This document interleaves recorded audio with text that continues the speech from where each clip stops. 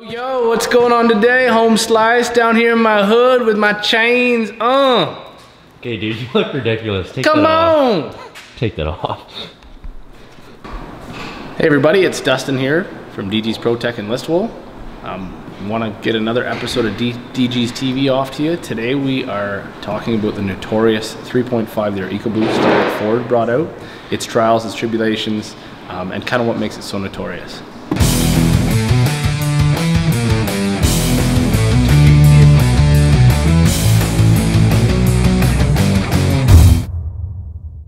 We had a customer come in for a very common complaint on their 3.5 liter EcoBoost. This engine is in an F-150 and it's in the Ford Edge, the Ford Explorer, and a lot of other Ford applications now.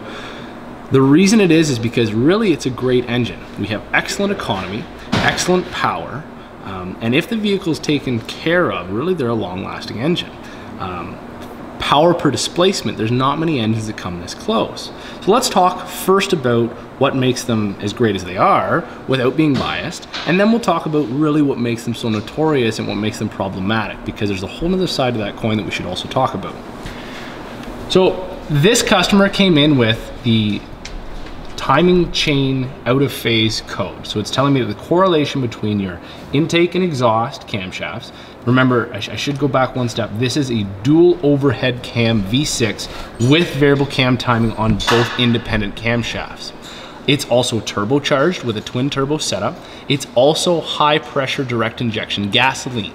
Um, so a lot of things going on in this engine, which is what makes it so powerful for such a small block. Um, Common concerns are this is a high performance motor. This is, you know, getting into what was race car technology only a few short years ago. Um, it needs to be maintained meticulously. In my professional opinion, this engine should have synthetic oil only, and it should have its synthetic oil changes done not at the extreme interval of 15,000 kilometers like the oil change minder on the dash will allow you to do. Um, if those things are taken care of and the maintenance is impeccable, these trucks last a long time and we don't see some of the common failures like turbocharger failures, turbocharger bearing failures, and timing chain stretch problems as they're commonly concerned. This customer came in, of course, with the timing chain stretch problem. And what it really is is actually wear between the links of the timing chain. So if you can picture a whole bunch of links like this, and as they wear due to lack of maintenance, they, they wear into each other and a little bit of wear in each timing chain physically allows the chain to be uh, longer than it should be. The timing chain tensioner setup in the system cannot take up all of that slack and eventually the timing, the timing gears on the camshaft side are allowed to float further than they should actually be able to do. Now the computer will pick up on this because it's very advanced and it will actually start to phase one or more of the phasers to try and bring your base timing closer to zero. Once it goes outside a calibrated limit, it'll set the check engine light, throw the truck into lack power mode, and you'll be into a shop like ours for repair. Now, if the customer chooses to still ignore further, because it can be a cost repair, it's not as scary as you think, but it can be. Um, eventually, what we've actually seen is the truck will actually jump time. And in a case like the other EcoBoost in our shop today, it jumped time to the point where pistons and valves have collided because this is an interference engine, and now that customer needs major, major engine repair. So, a um, couple base things you can see in this engine. Of course, we are twin independent variable cam timing, which means we have a solenoid that runs this intake, a solenoid that runs this exhaust, and again over here for this intake and this exhaust. So they can be variably advanced and retarded on the fly. We have a port, and I'll show you the parts over here in a second, for a high pressure direct injection. Basically, this is your injection pump like you'd find on a diesel, but in gasoline world, it's a little lower pressure, maximum 2 to 2200 PSI. It runs high pressure lines down here to your high pressure rails that are again gasoline that have direct injectors into the cylinder. By using direct injection, we can be extremely efficient in the use of our fuel and the delivery of our fuel to get excellent atomization. Now, some customers will argue with me in this video and say, you know, the EcoBoost that I've driven or from my friends that have had one have said it's not that efficient of an engine. It really doesn't get that much better fuel mileage than their 5 liter F-150, which is the competition motor within the same brand. And I hear you. I have driven an EcoBoost over a long period of time. If you use an EcoBoost and you stay out of the actual boost, it can be more eco. However, if you drive one of these trucks and you enjoy driving a vehicle, you won't want to drive out of the boost. You'll want to be into the boost because they're a really fun engine to drive. Of course, as we up boost in an engine, we have to up fuel to have the correct air fuel ratio. And that's where those trucks really don't get a whole lot better fuel mileage than their V8 competitors, you know, maybe slightly better, but it's when they really shine when they're into the boost. And that's why their towing numbers are in excess of 11, 12, almost 13,000 pounds towing capacity. And personally, they'll do it. So here we are over on the bench, guys, with the parts from this EcoBoost that we were just talking about a second ago. Now, to give you an idea, if you go back in a couple of our videos, we did a very similar video on the 5.4 liter Triton F-150. So you're gonna see a lot of the same layout and we'll kind of make some references together as we go. So this is your basic timing chain layout that's been recently removed from the truck. So you have your timing chain guides, you have your timing chain tensioner, you have your where your crank um, crank gear would be, running your timing chain up and over bank one camshaft, down around an idler and up over bank 2 camshaft, and then back to our crankshaft. Now on the 5.4, we run two chains to do the same thing. On this, because we run one chain, we have to run this idler in the middle.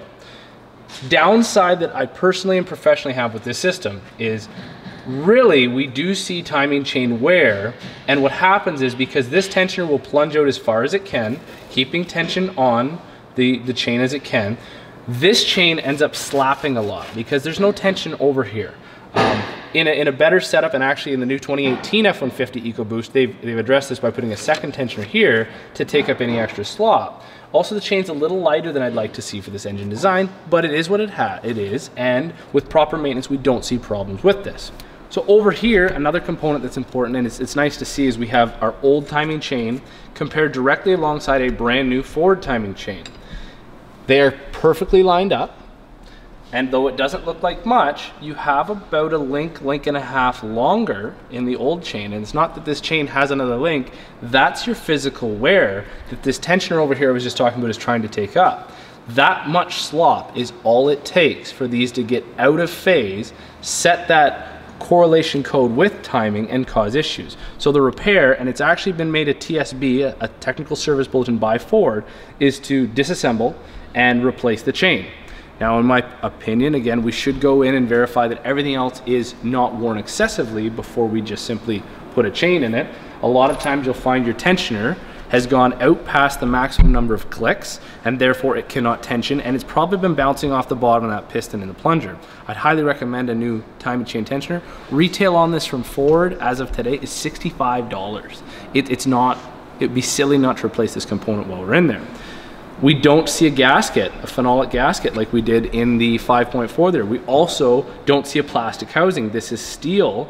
There is no warpage here. We very rarely lose any leakage here like we did see in the 5.4 there. So this is updates that Ford has obviously made to their systems. A couple other neat components we'll show you just because we're disassembled. This is your high pressure injection pump. It is mechanical. It means it runs off its own separate cam lobe driven off the actual intake camshaft. There's a square lobe there that's just sitting here and going pulse, pulse, pulse, pulse, pulse. So low pressure comes in at you know 50 psi, give or take, and high pressure exits based on demand from the regulator to ramp anywhere from 500 to up to about a maximum 2200 psi.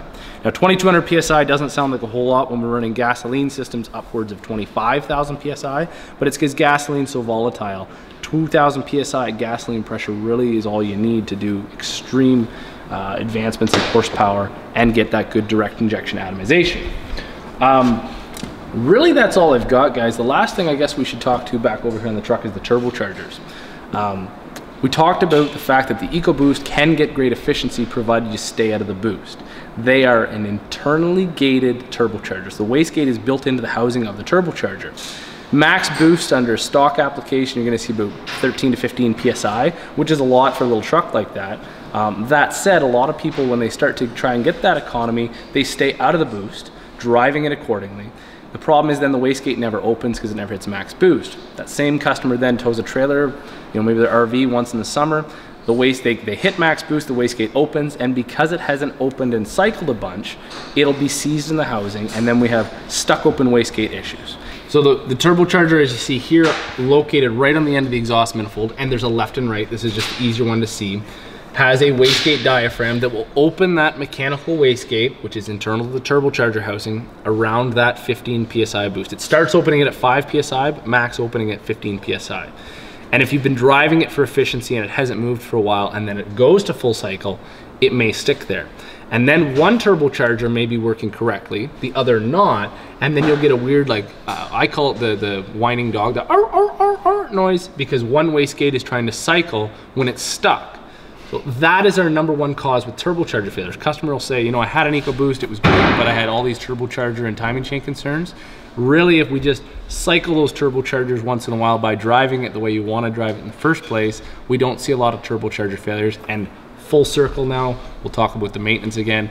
If you keep good quality oils and filters in these trucks, at the right time periods, um, not necessarily that extended 12 to 15,000 mileage. I tell guys 5,000 K on regular oil, 8,000 K on synthetic in these. Treat them like a diesel because really they are almost like a little small diesel and this EcoBoost will last you a long, long time and you won't have to come see us for a repair like this.